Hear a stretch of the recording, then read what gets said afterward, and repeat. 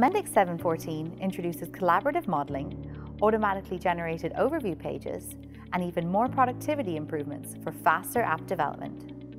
We're excited to introduce Collaborative Modeling, a brand new WebModeler feature for instant collaboration to speed up your design time and communication within your development team. We have now integrated collaboration tools directly into the WebModeler. So now everyone in the app development lifecycle can contribute, view and communicate. With just a one-click handoff, you can exchange editing controls within your team for faster collaboration and app building. And because all comments captured in the app buzz are linked directly to the page, microflow or domain model you're commenting on, your team can jump straight to that document and get to work. Collaborative modeling involves every role during the development process, from developers to product owners, so your app is always built right the first time. We have worked on a whole bunch of delighters to bring your app development to the next level.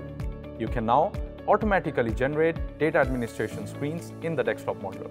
By selecting an entity or even a full domain model, you can automatically generate overview pages with the related data entry page to add or edit new rows.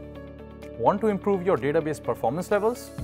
Using the new indexing capabilities, you can now specify if the database index order of attributes should be ascending or descending. This means that, for example, the retrieval time for a simple entity of two attributes and 100,000 rows is reduced by a factor of 8.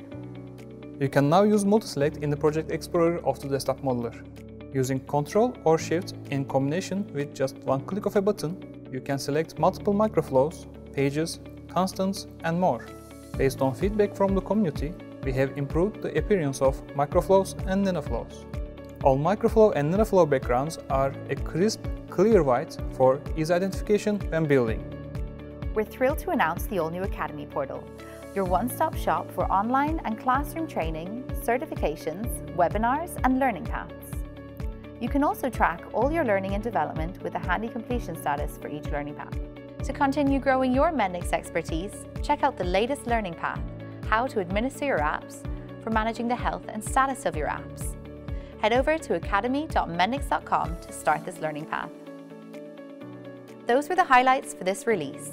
If you want to find out more about our features, check out our release blog at mendix.com blogs.